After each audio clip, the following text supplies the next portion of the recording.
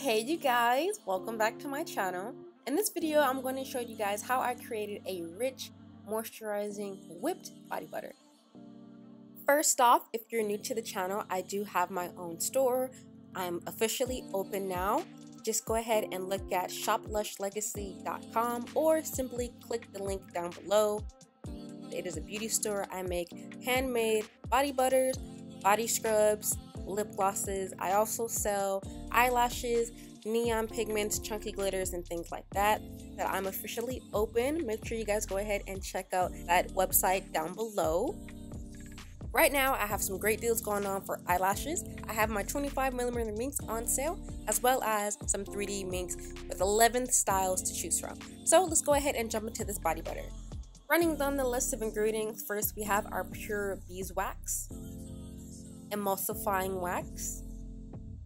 This is mango butter. You're gonna need cocoa butter as well.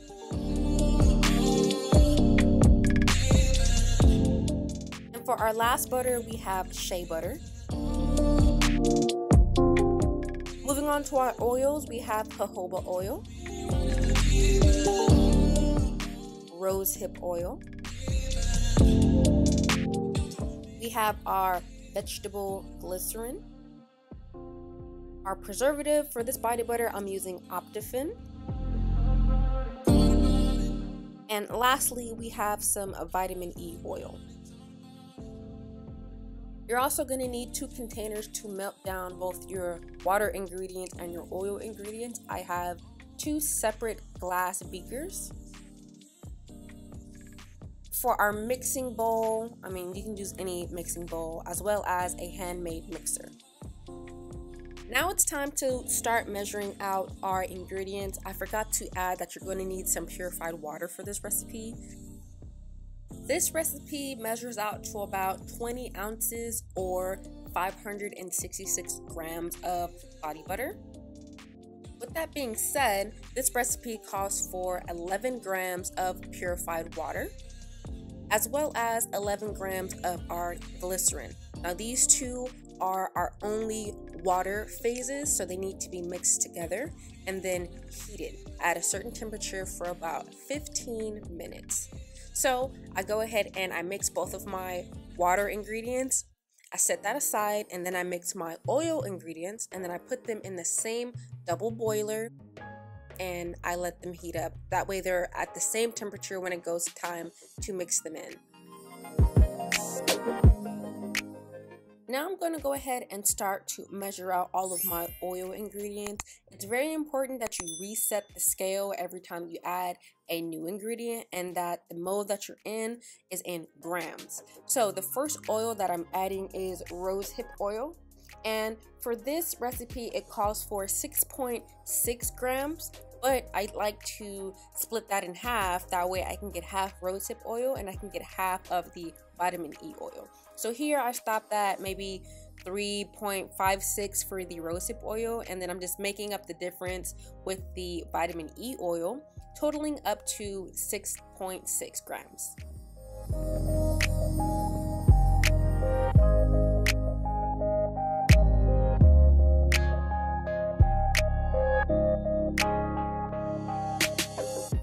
Next oil ingredient that I'll be adding is jojoba oil. It boils down to about 9% of the total uh, formula. That is about 19.89 grams. I try to be very exact when I'm adding my measurements, but sometimes I go a little bit over and I can't really take it back. So.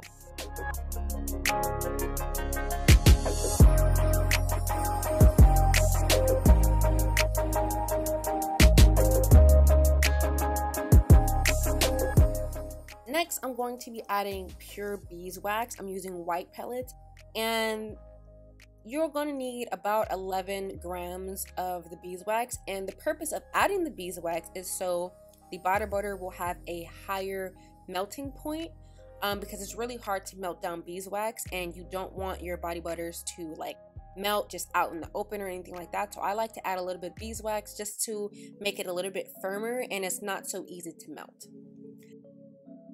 The last ingredient that I will be adding to our oil ingredients before I put them in the pot of hot water is the emulsifying wax. And I do this so the oils and the water ingredients can mix nicely and they don't separate. Again, once your body butter reaches a certain temperature, it gets hot and the oils and the butters start to separate and no one wants that. So I add a little bit of beeswax and a little bit of emulsifying wax I melt them all together in a hot pot along with the water and glycerin. Okay, now we're gonna start to mix in our butters. This is shea butter and the recipe calls for about 26.4 grams. And you're gonna have the same exact measurement for the cocoa butter. The reason why I use less of the cocoa butter and the shea butter is it's really strong. The, the smell is super, super strong, and I don't want that. So um, I go with a softer butter, both in texture and in smell, and I use mainly uh, mango butter. So you're gonna go ahead and measure out 26.4 grams of your shea butter and your cocoa butter before adding your mango butter.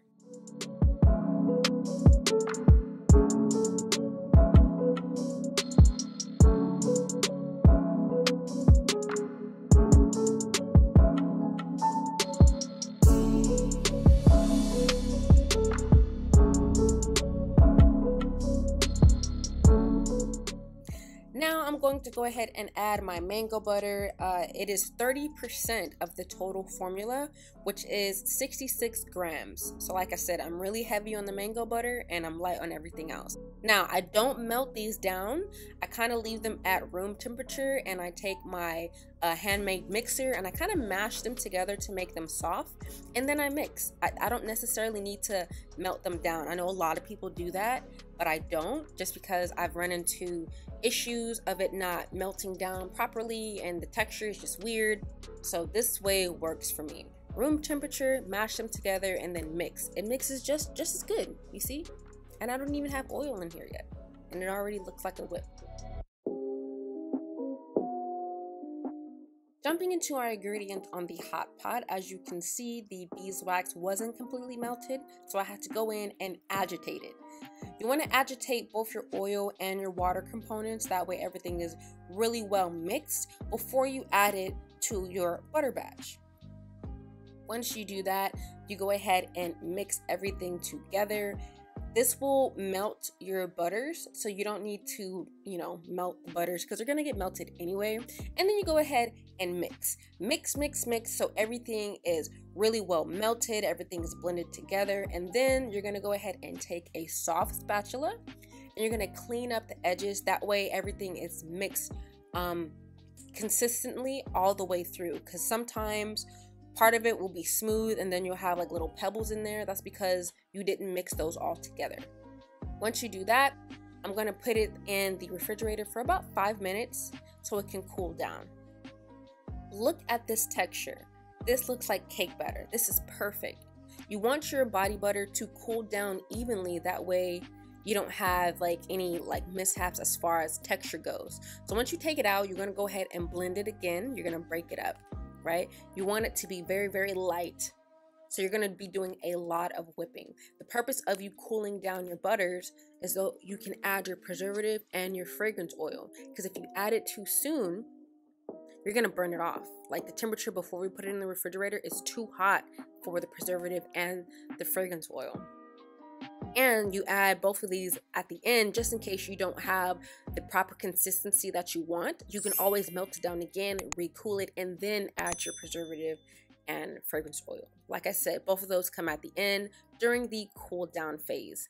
Now for this recipe uh, the preservative you want to equal it out to about 1.5 percent which is 3.3 grams Again, the preservative that I'm using is Optiphen. I use it in my sugar scrubs as well. I don't have any problems with it. This is my fragrance oil. It is a light, uh, like kind of fruity, kind of floral smell, and I use 30 grams. You're gonna go ahead and blend everything together. Blend, blend, blend, blend, blend. Blend. and once you don't think you've done enough, you blend again. So I blended this for about 10 minutes before I put it back in the refrigerator to cool down so it can thicken up and then get that texture that I really want. This time I left the body butter in the refrigerator for about 10 minutes before I took it out. That way it can thicken up and right away look at that. Like it looks like whipped cream, it looks like cake batter. Honestly, this looks like that uh, blended marshmallow spread that you get um, from the store. It looks like marshmallow filling. This is amazing. I want to get a close up so you guys can see the texture of this whipped body butter. Like right away, like I just want to eat it. It looks so good. But don't eat it. Like this this is not edible. This is for your skin. So yes. So this is the texture that you want. You want it to be thick. And again, I blended this for about another 15 minutes because I want it to be very airy and I want it to be very light. Hence, a whipped body butter.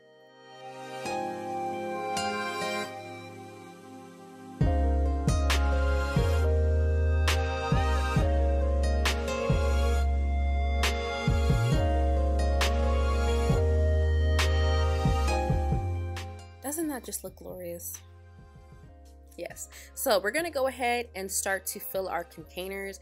I don't have a piping bag or anything like that. So I just use a, a plastic sandwich bag and I filled that up. I just put it in like one of the little cups that I have. I bought a little box of sandwich bags. It was like a hundred for a dollar, and I like using sandwich bags um, because they're disposable. They're really easy to use, and I don't know, they're cheap. I mean, I don't need to an expensive like piping baking bag or whatever. I can just use this and it works out just fine. So go ahead and fill this up to the top and you're gonna twist the end. That way you can have added pressure to the bottom of the bag. You're gonna cut a small slit and then you're gonna go ahead and fill up your containers. So this is the container that I'm using. It is a plastic four ounce wide mouth a lid container. I'm gonna go ahead and show you guys how I do my filling.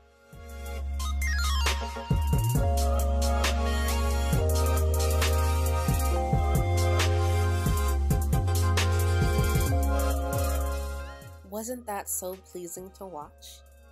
I should be a baker or something because I'm a professional.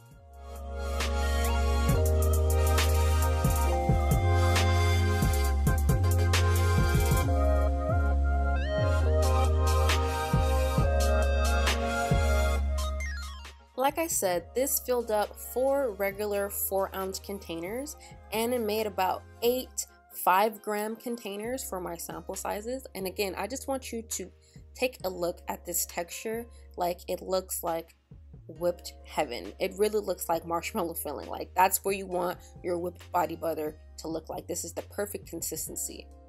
I want you guys to look for a second, see how my skin is glowing. Your girl ain't ashy no more. I really want you guys to try out this recipe for yourselves. Please let me know if you guys like this video down below in the comments. I'm going to have another video on how I make my body sugar scrubs, so just be on the lookout for that one. I'll see you guys in the next one.